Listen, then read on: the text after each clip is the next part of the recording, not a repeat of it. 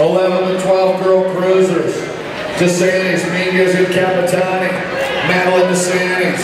Simi Valley, California, Harlow Pro Colors. Out in front, Capitani, oh, Mingus in the two slot, Capitani in the three. Into that final turn, Madeline DeSantis. Simi Valley, California for the win. Looks like